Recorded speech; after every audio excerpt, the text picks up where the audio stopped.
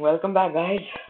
So one one of my subscriber told me to make a tutorial on how to download pokemon fire ash in pc so his name was irfan i think. He told me in one of my videos uh, how to download pokemon fire ash. He asked me how to download so here i am. I am always ready to help anyone.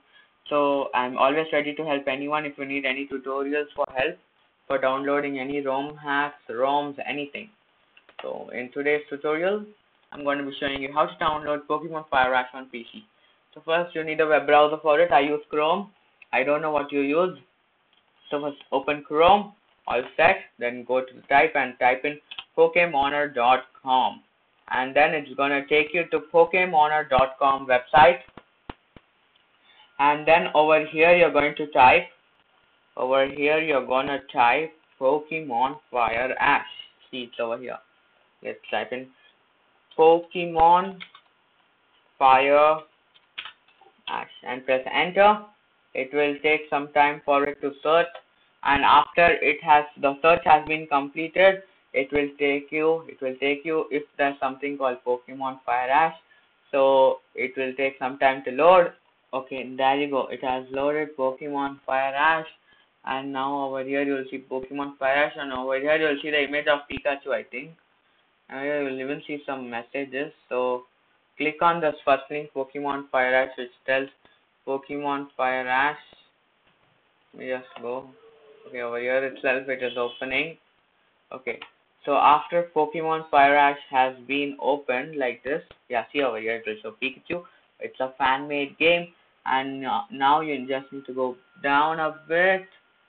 Over you will use over here you will see all types of images screenshots you can tell. And then you're to go here download.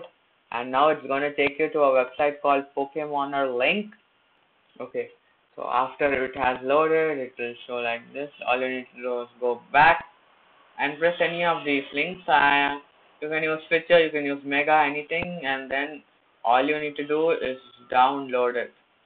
So I have already downloaded it so all you need to do and then it will be an extracted file. After you download it it will be in your downloads folder.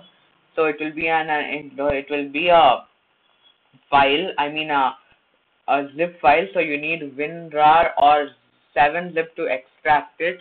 You can put any, you can download anything from google or any web browser you are using. And then the next step is you should extract it. Right click with your mouse and press extract here button and over that it will extract a folder called Pokemon FireAsh and then you should open it. Wait, I'll show you. Okay, so as you can see on the screen, my Pokemon FireAsh folder has been opened and all you need to do is press and over here you can see an option called game. So double tap on it and then you're all set. Pokemon FireAsh. So here you go. Pokemon FireAsh has been opened. So that you should press the button or enter button anything and you will continue from the place where you have left. So that's a very simple tutorial I guess. So yeah guys, that's it for this tutorial. If you like this video, hit the thumbs up button and subscribe to the channel for more tutorials like this. And I'll be seeing you in the next one. Goodbye.